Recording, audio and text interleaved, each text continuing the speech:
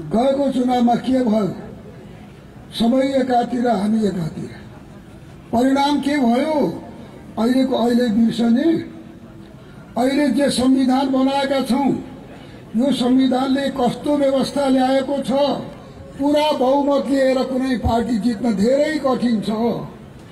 त्यस्तो अवस्थामा एउटा मात्रै पार्टीले सरकार बनाउँछु भनेर अरूसँग नमिलिकन तालमेल नगरिकन के सरकार बन्न सक्छ?